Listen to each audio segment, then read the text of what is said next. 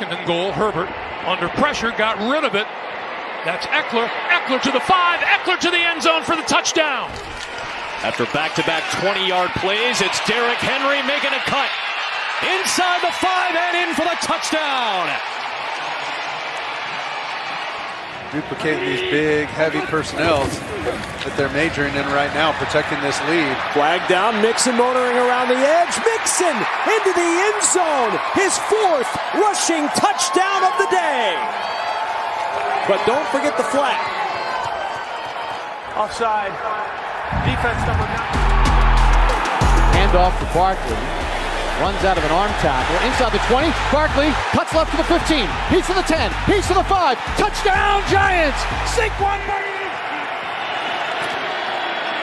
Rodgers, inside throw to Aaron Jones, spins his way in for the touchdown.